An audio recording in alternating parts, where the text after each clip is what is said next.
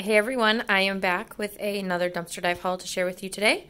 All of um, everything on my table that you see here is free. I got it from the dumpster behind the stores. Um, and vast majority of this you guys uh, kind of saw me find in my live dive. I did forget to put some stuff in my last haul video, um, so that's left over from that. And then I actually found just a few more things on my way home from work last night. So let's start over here. This is all that came out of that big black bag that I found. I have a whole bunch of Ridgies cheddar sour cream flavor. Let's count. One, two, three, four, five, six, seven, eight, nine, ten of those. Ten, ten cheddar sour cream. And then I have three honey barbecue, and one golden original. So lots and lots of chips here, as well as one, two, three, four, five, six, seven bags of Quaker Butter Popcorn Rice Crisps. Those actually sound pretty tasty. I have an 18 mega pack Nature Valley sweet and salty nut granola bars. One, two, three, four, five, six ba or uh, boxes of these Protein 1 bars. There's 10 bars in each, so there's 60 granola bars here. And then I have a whole bunch of fruit snacks as well. One, two, three, four, five, six boxes of fruit snacks. And again, there are 10 pouches in these, so that's 60 fruit snack pouches. So that's all that was in that bag. Well, and the shoe, but I never found the other shoe, so that's going back in there. But there was definitely something glittery in there. Can you see that? My hand is so shimmery. Um, and it's all over like the boxes and the bags it's very pretty, but I didn't end up finding anything, but I just love that it's all over my hand. I think it's awesome.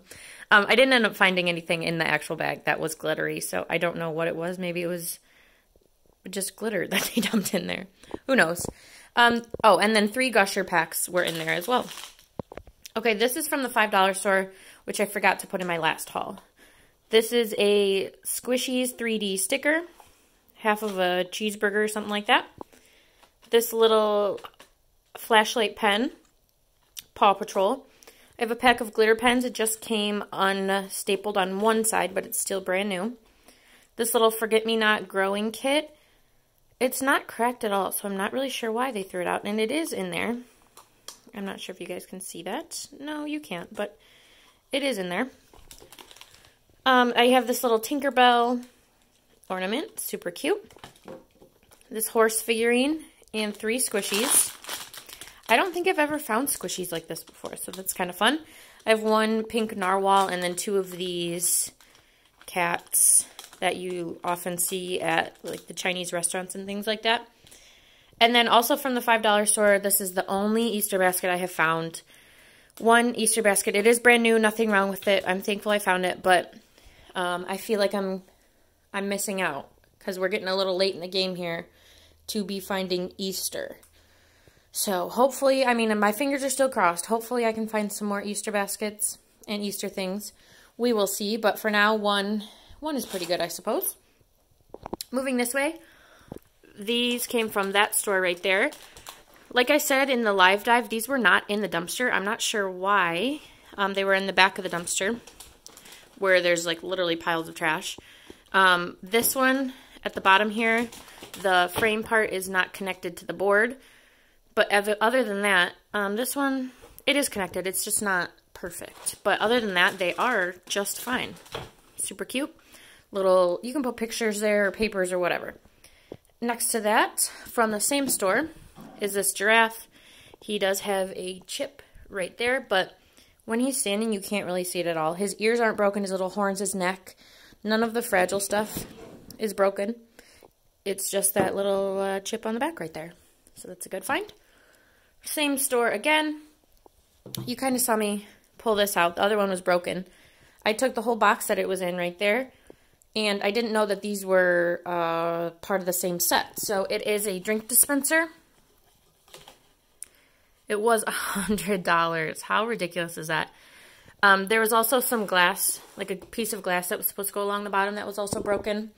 But it's this bottom crate, and then there's supposed to be two of these but the other one was broken like you saw. This one is fine. And then the lids were both tucked safely in here like this. And this one still is tucked safely because the other jar was broken. So maybe, I don't know, maybe I'll be able to find another one. Who knows? It's still cute. I can put something else on that side. Same store. As you saw, this little barrel, I do have this exact same barrel already. Same issue on this one. It just popped open a little bit, so I will just have to tack that back on and it will be good to go. Super cute. I am going to keep this because sometime in the future, I really do want to decorate a man cave of sorts. Not like a cheesy man cave, but a hip, cool man cave. I find some things that are like this style and I want to put them all together, but I don't have the space right now. So I'm saving them and for the future, eventually I will get to that. Um, and then last thing from that store is this huge, huge, huge, it's like a pitcher, vase, decorative piece. This was $45. The top part up here is chipped, as you can see, right along here. But I figured if I put flowers or something in it, it'll cover it up and it'll be just fine. So there's that. And then next to that, I have two things from that store. This is a max a wax melt. It doesn't look broken, but as you can hear, there is some broken glass. Um, I haven't really investigated this one, so I will have to keep you guys updated. Oh, it looks like the insert is broken a little bit. So I don't think that will affect its use. I think it'll still be just fine. So we'll see. And then behind that, I have taken a peek in here, but these are farmhouse bowls. They're adorable. And if you hear that, there's some broken as well. All I did was see that the top one wasn't broken, so let's investigate. Look at how cute that is. So that one is perfectly fine.